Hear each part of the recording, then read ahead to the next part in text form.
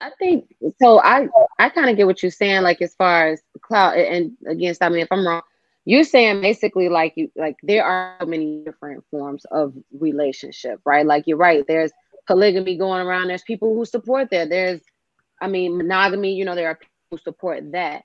But I, I feel like at the end of the day, you're right. It is about relationships and how to relate to another person in general or to people in general. Um, and, and, I think the solutions do need to be tailored around um, connectivity in general. Now, there are, I do believe that there are a lot of us who intend to, I mean, that's why we all here, right? Because we're talking about love. We want to connect. We want to, you know, come together.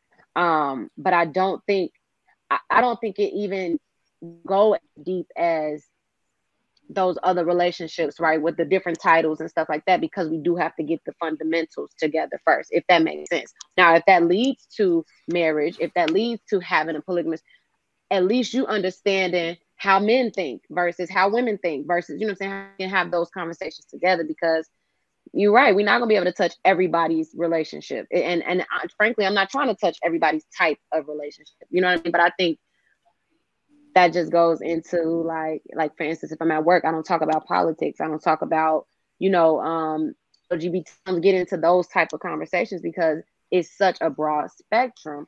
But i think at the end of it or at the beginning of it i should say it is foundational um relating to other people being able to listen um actively listen. But you know you're gonna have a few people like he would be like, no, it's like this, and this is just how it is. Period. You know what I'm saying? And I'm just throwing that out there because I feel like that's that's what these forums are for. Because there are people who won't relate to Hank and be like, that's how men should think. Period. There gonna be people who who relate to what I'm saying and be like, man, I'm more, you know, with the change in times, and and, and now I have to adjust. You know, so I just I don't know. I don't think it has to go as deep as other people's types of relationships, but I do think it has to have some type of fundamental understanding of how to connect with another person much time you should take before you just jump in something that's polygamous or monogamous. You know what I'm saying? Like check that thing out before we, because that's what we're talking about. We're talking about not wrecking our hearts no more as people. You know.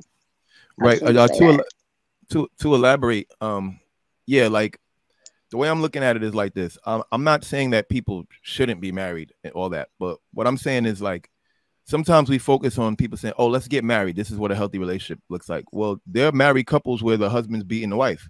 So, what's more important? Is it more important that they're married, or is it more important that they have a loving relationship? Same with the kids. Like, is it more important that the parents care for the children and are around and teach them things and educate them and, and are patient with them and kind with them, or is it more important that the parents are together? I mean, I, I feel as though sometimes we just focus on the letter of the law sometimes and not on the spirit of the law what's really important is that if two people are coming together, especially to make children, that those people know how to deal with each other with love, especially in front of the children. And I feel like we mm-hmm. miss that. We focus so much on, well, are they married? Are they not married? Well, that they could be married with no love and they're not helping society anymore and they could be unmarried with plenty of love and produce much happier, much more well-adjusted children to society. And I think that that's what we're really focused on. We're focused on the end goal of making society better, not just arbitrarily raising the marriage numbers. We only want to raise the but marriage see, numbers. That has to do with we, broken we, homes, Clout. We, we, we associate culturally marriages with a better society but what I'm saying is, in modern times, that's not necessarily true anymore. So I'm just saying maybe we need to focus on how we relate more than just the, the, the specifics of okay, more people are getting married. You know, there's less divorces. Yeah, but are people loving one each one another? Like generally, like are people treating each other kindly and well and helping each other and caring for one another? Because if everybody's married but they beating on each other, don't mean nothing. But, but see, I think that's that, why a lot of the women are not the... want to have kids either. Okay, because I've been quiet for a long time. I just want y'all to know, Jr. Have you been peeping? How quiet I've been sitting. Please give me props for that. Ten Thank mics you. on, Miss I need the cheers. Where's the sound effects?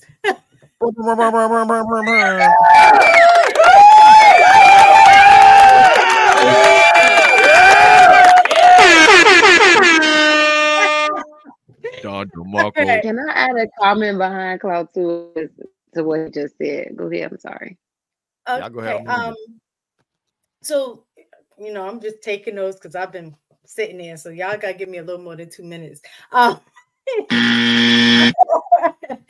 right, no, okay. One of the first things that we, we were talking about was the dating and how I think y'all was saying that dating should be simple and things like that. And I think that is part of the problem is that we're looking at dating as a game right? Oh, it's mm-hmm. supposed to be simple, it's supposed to be fun, and did da. but if you're dating with intention, it shouldn't be simple, right? It it it, it should be a a process of like intense, you know, thought, intense, like you know, screening, all of those things. Like when you're trying to hire people for a job, you have a job description, you know exactly what it is you're looking for. It's a serious process. So I shouldn't, you know, waste my time on giving people opportunities that I already know that don't have the skill set for the job, right? That's something serious because you want to be able to have somebody that is going to be there for the long term, right? Um, so I think that's part of where I think dating has changed, speaking to a little bit with what Clout was saying, um, is that before when you dated, you dated and then got married. Because in that environment, everybody understood the assignment, right? Um, which was to, you know, have a family, like just follow that that structure of the, you know, that time period back then. Um, I, I also would put that when you are more mature, you should know what you want and what you're looking for. So um, that should be kind of like in that first video that we saw. I think that's what was a reflection of what we saw is that her level of maturity and, you know, with older age should come wisdom. And I think she had a a, a, clear set on what it is that she was looking for, which you should, men and women both. Um, the other thing is as more mature you are the more strategic you should be in who you're choosing and how you're dating. Um, and because people will waste your time if you allow them especially if they're benefiting from your time. So you as a person have to be the timekeeper and a way to be the timekeeper is to keep your standards up front and center and making sure that you're aligning whoever you're dating along with that. And if they're not then you move on. Like, what are we wasting time for? Um, but the caveat to that too is also patience, um, which you guys brought up. Um, and uh, patience is important because things are always revealed in time, right?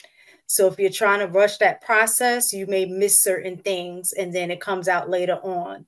Um, let me see. So that oh, an example of that, like I I, I know Hank was giving us an example. Uh, I don't know if it was true, you know, but if he believes it or not. Like he's like, by the third date, you're gonna be giving me your credit score. I need to know your credit score and stuff. That that might be true. I Hank, that's probably true. Um, but as an example, I think things have to happen in timing too, right? Even within intentions, you need enough time to kind of see a person's character and and learn certain things about them. Um, I think Rami has said about the microwave, you know, dating or what have you.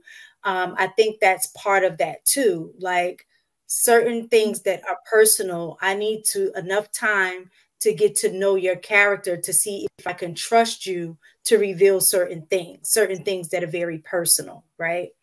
Um, and then somebody else has said something i can't remember who um, but i had wrote that there's a difference between oh viz you was talking about more i think you and clout were talking about morals.